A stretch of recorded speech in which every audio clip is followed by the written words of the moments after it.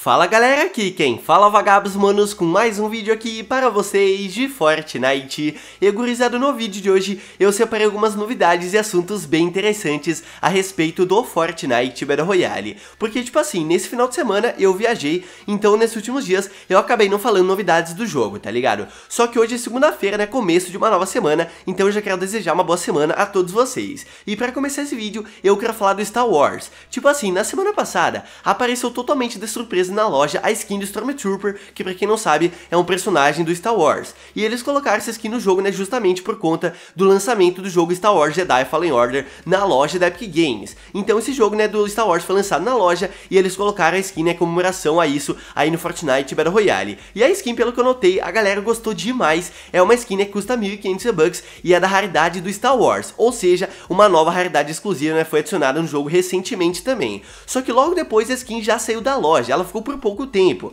Então, pelo que eu notei, tem muita gente preocupada se a skin vai voltar no futuro do jogo ou não, já que se trata, digamos que uma skin exclusiva, tá ligado? Só que se você não sabe, você pode conseguir essa skin gratuita, entre aspas, vou dizer assim, até novembro do ano que vem. Olhem só essa matéria que eles colocaram lá no site da Epic Games. Compre Star Wars Jedi Fallen Order e obtenha gratuitamente o traje Stormtrooper Imperial do Fortnite. Qualquer compra de Star Wars Jedi Fallen Order na loja da Epic Games até a meia-noite do dia 30 de novembro de 2020 receberá o traje Stormtrooper Imperial no Fortnite. Ou seja, se você comprar esse jogo na loja da Epic até o dia 30 de novembro do ano que vem, você tem mais de um ano para fazer isso, tá ligado? Você consegue a skin gratuita aí no Fortnite. Só que tem uma coisa, não vale nem um pouco a pena você fazer isso somente pela skin, porque o jogo na loja custa mais de 200 reais. Então só compre o jogo se de fato você quer comprar ele e assim né, você consegue uma skin gratuita aí na sua conta do Fortnite também. Aí você me pergunta, mas ó Gabs, eu não quero comprar o jogo. Então será que a skin vai voltar na loja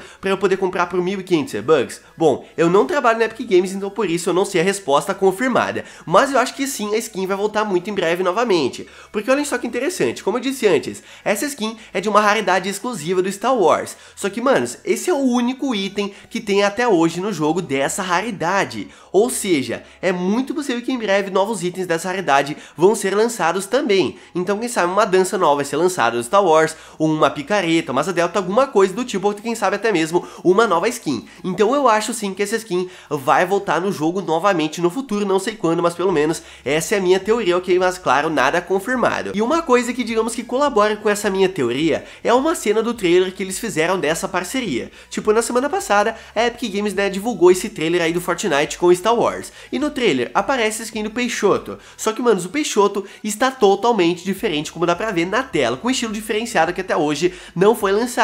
Então a galera, né, quando viu essa cena, pensou, bom, vai ser um outro estilo Peixoto lançado gratuitamente para quem já tem a skin na conta. No caso, o quinto estilo Peixoto, afinal, ele já tem muitos estilos, tá ligado? Então a galera ficou bem feliz com isso. Só que olhem só, na semana passada, a skin do Stormtrooper foi lançada na loja e eles ainda não colocaram esse estilo diferenciado do Peixoto. Então agora já tem pessoas comentando que na verdade esse Peixoto vai ser uma skin né, totalmente diferenciada sendo vendida na loja separadamente para você comprar mesmo que você já tenha o Peixoto na conta, tá ligado? Tipo assim, isso não é confirmado por enquanto, né? Mesmo assim, deixe nos comentários se você acha que será bacana esse na verdade ser o novo estilo do Peixoto, se você acha que será melhor ser uma nova skin, né? Deixe nos comentários a sua opinião sobre isso. E já tem muita gente comentando que se essa parceria for somente dessa skin lançada na loja, vai ser muito decepcionante, porque convenhamos, Star Wars tem personagens muito bacanas que serão skins muito lindas do Fortnite. Tipo, o Stormtrooper que eles lançaram é uma skin bem legal, só que se for somente ele, a Epic Games com certeza ia desperdiçar uma grande oportunidade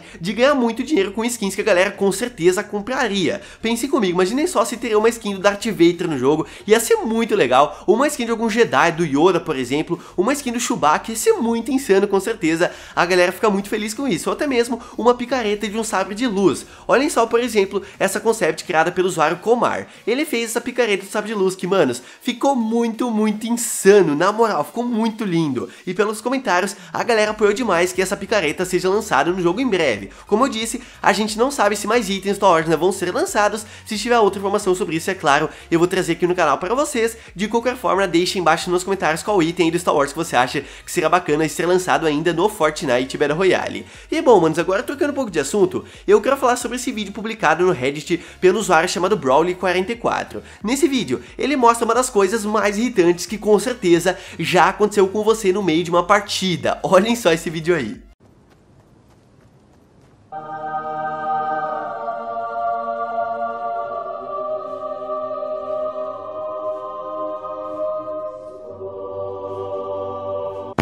Sinceramente, essa é a parada que mais me iludiu na minha vida inteira, é sério. Eu já perdi as contas de quantas vezes eu fui trollado por essa luz, porque, manos, o brilho do baú é exatamente o mesmo dessa luz aí, tá ligado? Eu lembro muito bem que na oitava temporada, eles colocaram no mapa a Praia da Preguiça, e no começo, eu gostava muito daquele local. Só que, manos, lá naquele antigo local, tinham muitas luzes como essa, e eu caí muitas vezes nesse bait da luz achando que era um baú, tá ligado? Por conta disso, eu parei de cair naquele local somente por conta aí dessa trollagem da luz, é mesmo assim achei um vídeo bem engraçado pra mostrar aqui para vocês no vídeo. E já que eu falei uma parada que a galera fica irritada, olhem só, ultimamente, o pessoal tá perdendo muito a cabeça com Epic Games por conta da bazuca de bandagem. Manos, na semana passada esse item foi removido do jogo por conta de bugs, então o pessoal pensou, bom, esse item vai voltar daqui a algumas horas. Só que até hoje o item ainda não voltou, e esse item a galera precisa, né, para resolver alguns desafios e também, né, desbloquear aí estilos de skins do passe de batalha, por isso o pessoal tá bem irritado com Epic Games. Só que galera, olhem só, nessa semana vai ter uma atualização, então é muito possível que essa bazuca de bandagem vai voltar no jogo. Eu mesmo achei que ela ia voltar antes disso, né? Mas de qualquer forma, acho que ela vai voltar sim nessa semana, né? Se tiver outra novidade, é claro, eu vou trazer aqui no canal. Então se você já perdeu paciência com isso, né? Espere um pouco, né? Aguente um pouco mais, provavelmente ela vai voltar já nos próximos dias, ok? E manos, agora eu quero falar a respeito dessa matéria que eles colocaram hoje lá no site da Epic Games. Olhem só o que diz aqui. DirectX 12 da Microsoft em breve no Fortnite o Fortnite evolui lado a lado com a tecnologia. Atualmente, a versão para PC do Fortnite exige uma placa gráfica capaz de executar o DirectX 11 da Microsoft. No entanto, a partir da versão 11.20, adicionaremos a opção de jogar a versão para PC usando o DirectX 12 da Microsoft.